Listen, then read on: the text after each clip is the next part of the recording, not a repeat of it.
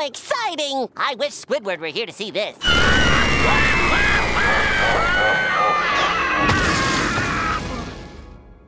Boy, I'm glad all that's over.